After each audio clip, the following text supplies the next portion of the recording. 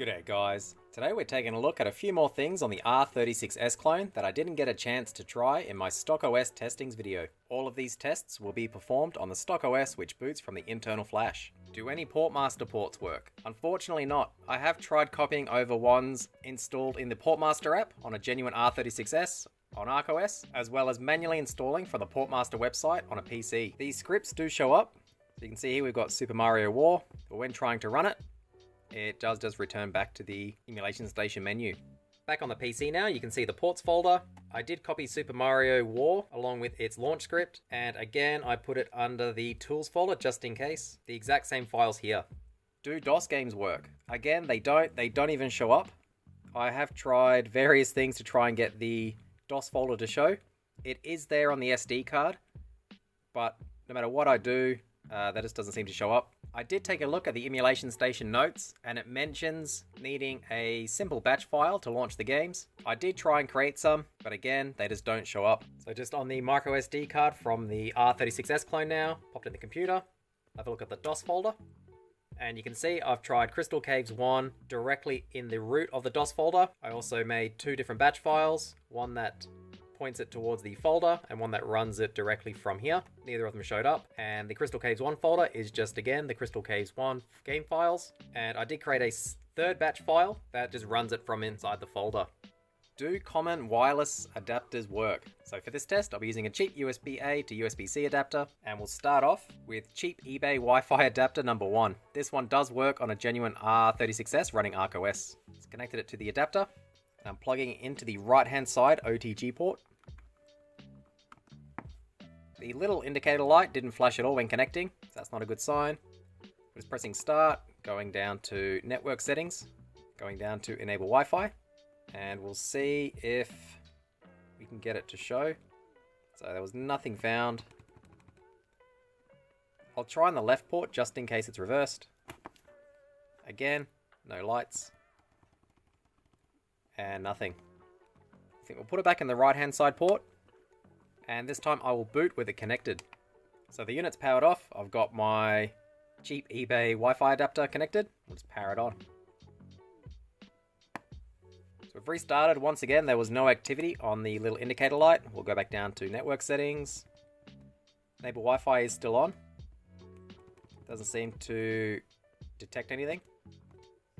We'll swap out with our next wireless adapter.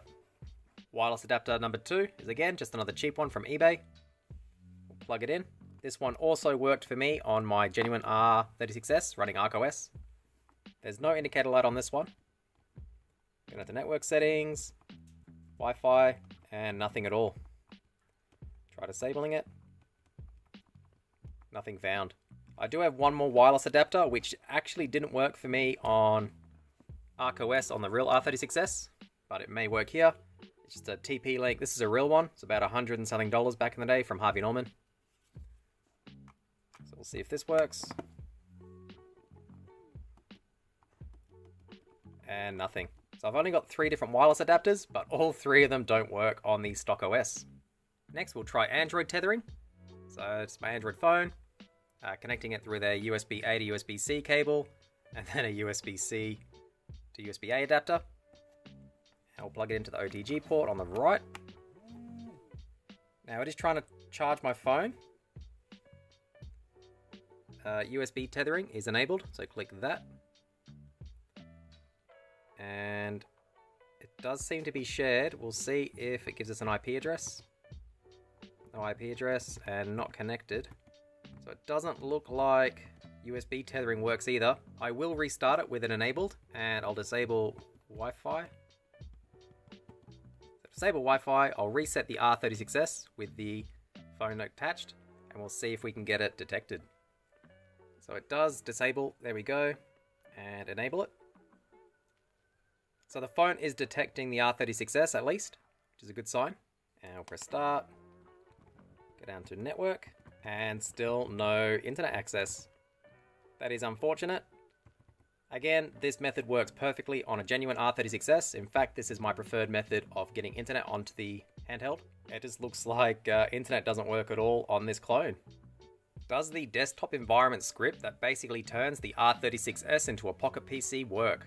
Now this one's designed to be run from the tools folder on ArkOS on a genuine R36S. Unfortunately, there is no tools option on the menu. There is a tools folder on the SD card, but it doesn't show up. I also tried copying the exact same files with the launch scripts to ports in case that would uh, work, but unfortunately it doesn't show up still. So no, you cannot turn the R36S clone into a little pocket PC, at least not on stock OS. We will try it again on the custom build of ArkOS in the future.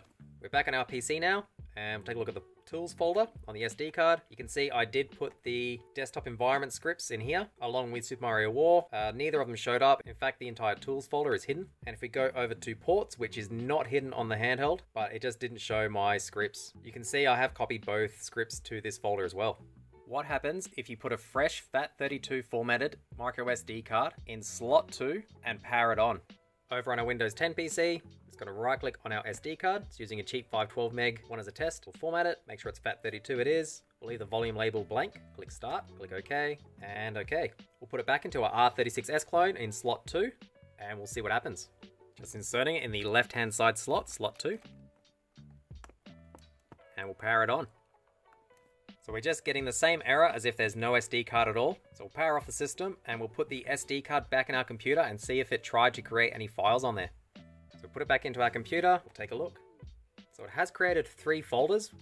One .update, one ports folder with ecwolf, which is empty, and a ports scripts folder. That's it. It didn't try and auto-create these systems folders, which is a bit annoying. That would have been an obviously handy feature, but it was interesting it created anything at all.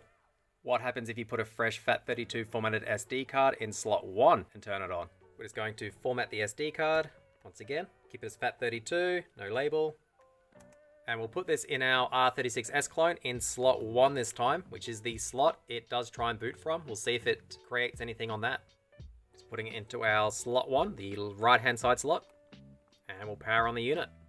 And we just got the same error message again. It didn't seem to take any longer try and boot.